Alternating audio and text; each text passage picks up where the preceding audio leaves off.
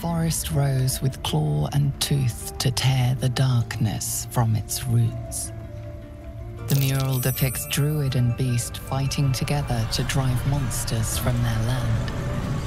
It looks like they were victorious, and yet the monsters have returned. We take Grove law seriously. By letting that child escape without consequence.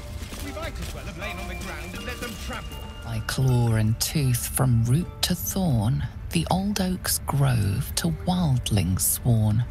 The mural shows druids claiming the grove in the name of the old oak, Silvanus, god of nature.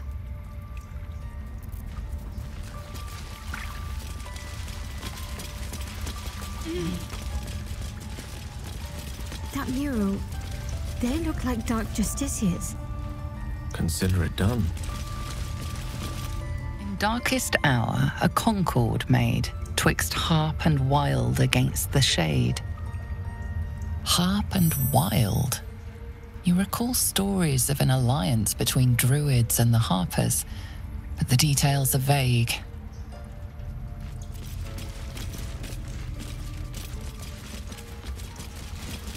The towers seized, the battle done.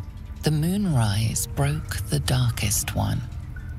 You recognize the mark of the dark goddess Shar on the broken helmet.